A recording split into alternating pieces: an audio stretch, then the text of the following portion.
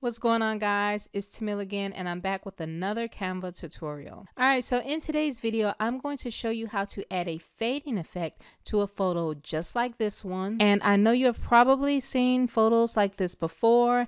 And if you can create one of these guys, then you can have some really professional photos. So I want to show you exactly how you can do this today.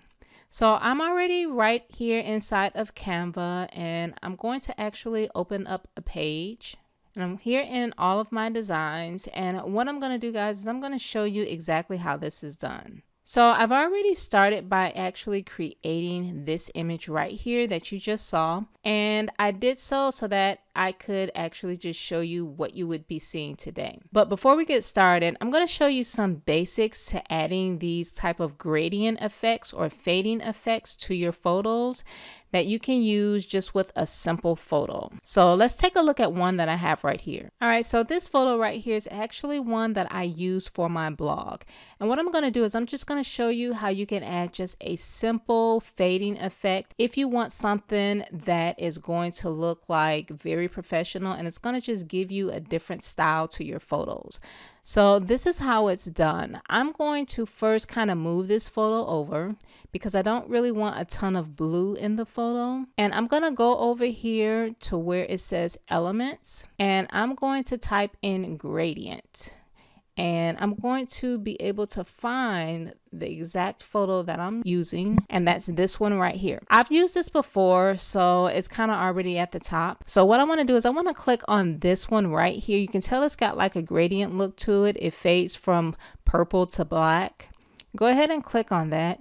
And what's going to happen is, is that I want to be able to use this particular gradient. I'm going to make it fit right here in the corner. Now, of course, we're not going to use purple. We're going to use a different color, preferably white, because this is just a very simple photo. And what I'm going to do is I'm going to go ahead and rotate this. I'm going to rotate this so that that dark purple is going to sit on the outer corner instead of inner corner. And I'm going to move it over here to the right and it's going to sit right in the corner. I'm going to actually open this up a lot more and I'm going to pull it over slightly, just right here. And so instead of this color being purple, I'm actually going to make it white. But let me move my photo over just a little bit more. I'm actually going to make it white. So I'm going to go right up here, click on here so I can get the color up. I'm going to change purple to white. I'm going to have this color right here. So what ends up happening is, is you need to make it fade. And that's what's going to happen right here. If I don't move this over, it's going to be a very strong line that you'll be able to see right here. And I don't really want that. So what I'm going to do is I'm going to move this over so that you can see that the line actually disappears. And that's what I want. So I'm going to move this down a little bit more. I'm going to move it over. And I'm actually going to take this and move this over so that it looks like this. And guys, instead of having all of this brick right here, you want to create a fade effect as if the brick just automatically fades into the white. This is how you can actually get it done. So you need to move that line over so that you don't have that strong line showing the separation between the photo and the background.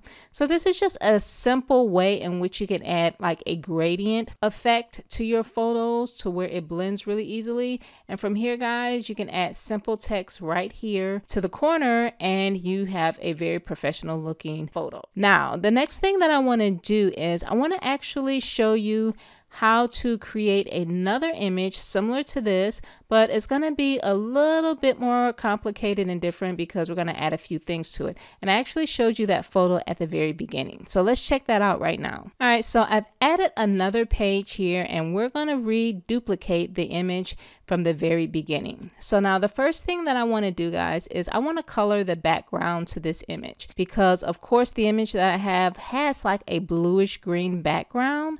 So I'm going to start first with adding a color to the background. I'm going to go over here to backgrounds and I actually have the color here already populated and I'm going to just have this color a nice pretty blue because this is the color that's actually inside the photo that I'm going to use. So I kind of want the photos to match.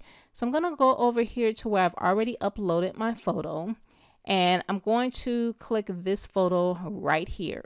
And I'm going to go ahead and stretch this photo out And what I did that's a little bit different from what I normally do is that I am going to actually tilt the photo. So once I get it situated here, I'm going to actually just rotate this photo some. I'm going to rotate it just like this. And I'm going to make it bigger. So I'm going to increase the size of this right here. I'm going to make it a little bit bigger. think I can go bigger. I'm going to create it a little bit bigger.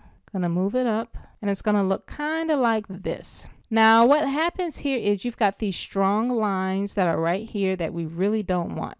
So I'm gonna go back to that image that I have, that gradient image, and I'm gonna add an image right here. So I'm gonna go back over to elements and I'm going to click on this image right here. I'm going to put this image in the left corner now. I'm going to make sure it's all sized up and I'm going to put it all the way down here. I'm going to go ahead and change the color obviously from purple to that blue which actually fits perfect because you can see that it actually matches the shirts that people have in the photo. So that I like. So now that we have that going on what we need to do is we need to do something about these lines that are right here because we don't want the lines showing obviously. They're pretty hard and we don't want them showing. So I'm going to move this over just a tad bit. I'm going to keep moving it until it fades. And so as you can see, it does fade here a lot. So that's pretty good. We've got that faded and I'm going to rotate it just slightly. But the issue that I have here is that you've got some other strong lines that are right here. So I want to add a duplicate of this gradient image. So I'm going to click on it and I'm going to make a copy of it and I'm going to add another copy. There it is right there. Now immediately, as soon as I added that other copy, you can kind of tell that it's already disappeared. What I have over here are these lines right here. So I'm going to move this up just slightly, just a bit because I don't want those lines there. And I'm going to increase the size of the second image. And so as I increase the size of the second image, it slightly disappears. I'm going to go back to the first image because I want to make sure that it's gone.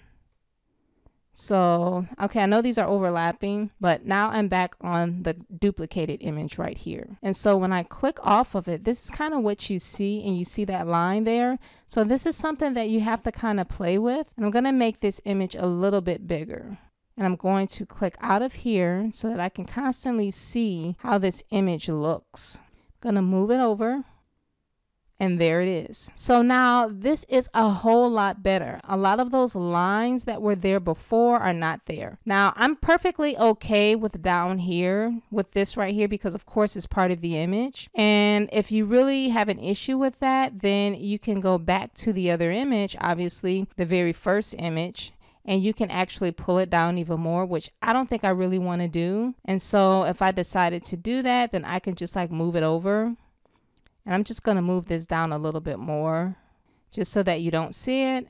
And then I can always just pull this back over like that. So that's another way of doing that. And you've got that strong line there again. So I want to move it just like that. And so this right here, guys, is a nice way to use the fading effect in Canva and you can create this with all type of photos. So now the next thing that you have to do is just add any type of text that you want. So of course you can go over here to the text box like I did. You can click text and you can click, you know, this right here. You can easily add right here, add a fading effect. I'm going to put it on bold. Just going to put add a fading effect.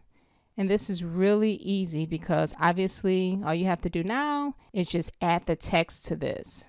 I'm just going to pull this over right here. I'm going to pull this up. I'm going to duplicate the text. I'm going to pull this down here. I'm going to go ahead and click this to a photo. And then you can just say using Canva, of course. I'm to just to duplicate this again, and then you can have this. And obviously you can use whatever font you want, but just for the sake of this video, this is what I'm using. so we're to say using Canva. I'm to change the text to this because I don't like it. new songs, new songs playful. And then I'm just to change the color as well. So we can change this I don't know, yellow right here. And then I'm going to go up here to elements and I'm going to grab a Canva logo. Oops, there it is right there. I'm just going to add this right over here. Okay, so here it is, guys. This is it. This is the image that I showed you at the very beginning of the video. And like I said, to add these fading effects is really easy. It just takes a little bit of effort and you can have some really professional looking images. So I created this in Canva. It took no time to do it and I hope that you like this video. If so, give me a thumbs up if you like it.